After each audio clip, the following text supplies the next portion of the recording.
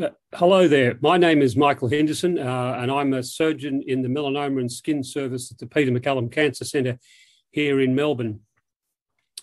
I'm looking forward to seeing you in the uh, skin surgery masterclass, which is coming soon. Um, and I'm going to be speaking on uncommon and rare types of non melanoma skin tumours.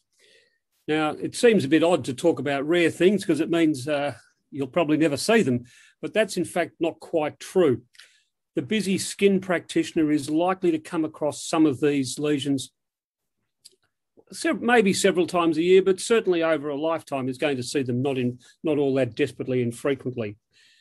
Now, the fascinating thing about these is that almost invariably the diagnosis is made after a biopsy. There are some of them uh, which are a little more obvious, but for the majority of tumours present pretty innocuously, although most are fast growing. The histological diagnosis can be very con- confusing and difficult, but it is critical in making the correct diagnosis to, to allow the, the appropriate treatment to proceed. The management of many of these tumours is multidisciplinary because quite a few of them are actually lethal, uh, lethal conditions. There have been most, massive strides in the basic science in a number of these tumours, um, and in a number of cases, this has major implications for management.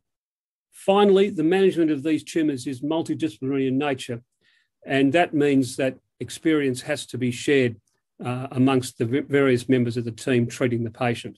So here I've listed some of the uh, tumours we're going to speak about. The top two, Merkel cell carcinoma and dermatofibrosarcoma protuberans, make up about two thirds of the rare non melanoma skin tumours a practitioner is likely to see. Um, both of these tumours um, have had major improvements in their understanding, which has led to quite uh, extraordinary developments in their management. And we'll certainly be discussing the role of targeted therapies um, and immunotherapy in the management of advanced Merkel cell carcinoma and dermatofibrosarcoma protuberans. The next group are the mesenchymal tumours, atypical fibroxanthoma, which is not really a malignancy, but occasionally can behave in a uh, malignant fashion. But the issue is that it may well and is often frequently confused with pleomorphic dermal sarcoma, which sometimes can be confused with undifferentiated pleomorphic sarcoma.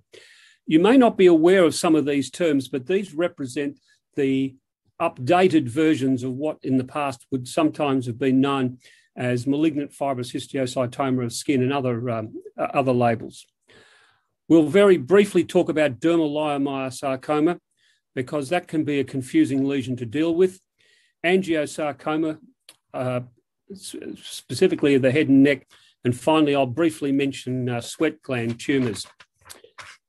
So I look forward to seeing you online um, when we talk about these tumours um, in the near future. All the best and see you then.